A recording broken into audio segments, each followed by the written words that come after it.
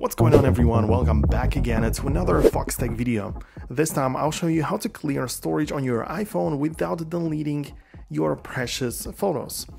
If you're finding your iPhone storage is running low, but want to keep all your photos, there are several steps you can take to free up space effectively. The first and most crucial step is to determine what exactly is taking up your storage. For this, open up the Settings app on your iPhone, navigate to General, then tap on iPhone Storage. You'll need to wait a few seconds as it loads up, but once it's ready, you'll see a visual representation at the top that shows what's occupying your storage space. This breakdown is essential for making informed decisions on what to delete. As we established, you don't want to delete any photos.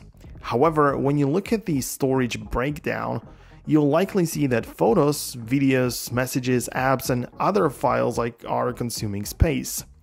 One option to consider is deleting some videos, since they often take up a significant amount of storage. You can review your videos and delete those that are particularly large right from this section if you get this recommended. Another effective strategy is to delete apps that you no longer need. For instance, you might find that there are some different apps, like if you just check it out, just take a look at the, messages, which are including many attachments, these can be taking up considerable space. You can delete these attachments without affecting your photos. Similarly, check the list of apps to identify any that are consuming a lot of storage.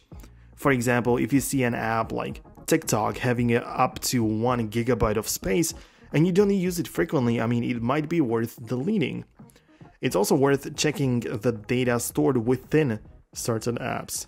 For example, if you use a video editor, for example CapCut, the app itself might not might not take up space but the documents and data within it could be really large.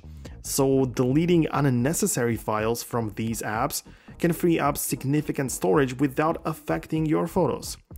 And finally, if photos are taking up a substantial portion of your storage and you need to keep them, consider backing them up, like you don't have to delete them. Instead, move them to an external drive or iCloud, whatever it is, but this way you still have access to all your photos without them occupying your space on device. Hope you found this video useful. If you did, hit the thumbs up, subscribe below, and I'll catch you in the future. Peace out until then.